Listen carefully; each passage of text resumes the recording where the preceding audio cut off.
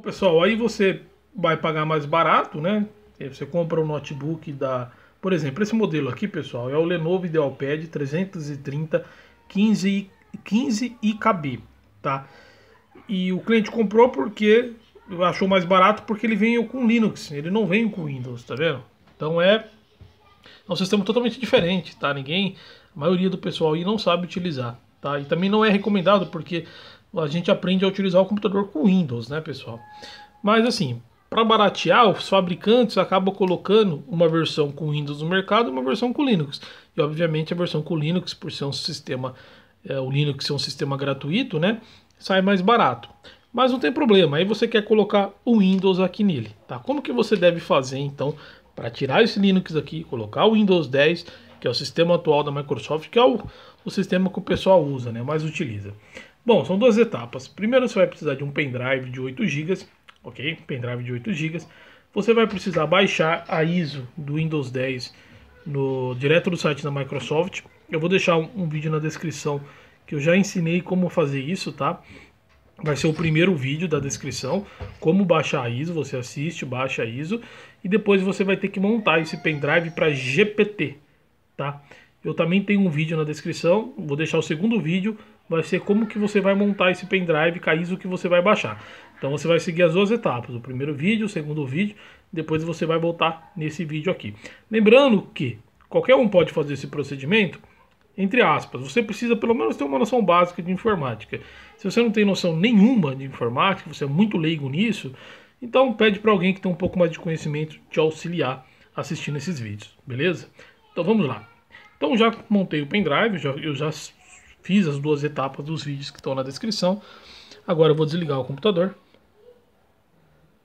Vou manter pressionado aqui, ó. Opa, acho que desligou. Beleza, esperar um pouquinho, o computador vai ter que desligar. Ele já está reiniciando aqui. Eu vou manter pressionado aqui para ele desligar por completo. Ele não tem que acender essa luzinha aqui, tá? Bom, geralmente no Lenovo, pessoal, você vai agora que está desligado, você vai colocar o pendrive numa porta USB devidamente montado, tá? Colocou, tá vendo? Você vai fazer o seguinte, vai clicar, ligar ele, um clique só, né? F12 Geralmente é o F12 nos notebooks da Lenovo. Beleza? Ele já vai aparecer aqui, ó. Se você tem, montou o pendrive corretamente, ele já vai aparecer aqui, ó. O FUSB Device. SanDisk. O SanDisk é uma marca internacional reconhecida. Então, ele já reconheceu a própria marca. Se você estiver utilizando outro pendrive e não aparecer SanDisk aqui, vai aparecer Generic USB Disk, um outro nome aqui entre essa essa entre esses parênteses, beleza? Mas você vai clicar aqui, ó, IFI USB Device. Selecionou, ó, cacetinhas direcionais, clicou nele, deu Enter e ele vai começar a startar pelo Windows 10, tá? Pelo pendrive, tá?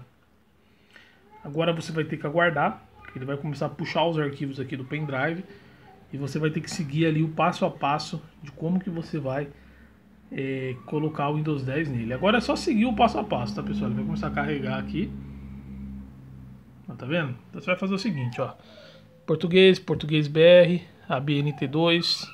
Por que ABNT2? Porque o seu teclado tem o C, cedilha. Avança, instalar agora. Espera. Beleza? Eu vou pausar o vídeo aqui, pessoal, porque essa parte aqui pode demorar um pouquinho. Até que não demorou. Aqui é um detalhe importante, pessoal. Como você vem, como esse computador vem com Linux, obviamente ele não tem a licença do Windows 10. Então você vai a princípio instalar sem licença e depois você vai providenciar essa licença junto à Microsoft. Você pode entrar em contato com a Microsoft, no próprio Windows Labo tem um caminho para você comprar essa licença, ou através da internet tem vários fabricantes autorizados da Microsoft que vendem um serial para você depois colocar. Depois você consegue entrar no computador e colocar essa licença, tá? Tem pessoal que ativa, usa crack, mas isso eu não recomendo. Eu recomendo você comprar a licença direto do site da Microsoft, tá? Você vai conseguir usar essa licença? Vai conseguir, mas vai ficar um avisinho lá. Então depois você com calma, com tempo, você providencia essa licença. Então, você não tem a chave. Deixa eu tentar focar aqui, pessoal. Que como eu pausei, o celular ele perde o, perde o foco. Ó. Cliquei aqui, não tem a chave da licença. Windows 10 Home. Coloque sempre o Home, viu pessoal, se você é um usuário doméstico. Que ele é o mais simples, o Home e o Single Land. Ele é mais leve, vamos dizer assim. O Pro já tem muito mais recursos assim que a gente não utiliza. Aqui você aceita, avança. Personalizado. Vai clicando um por um e vai excluindo. Até só restar um. Você vai fazendo isso até restar só um.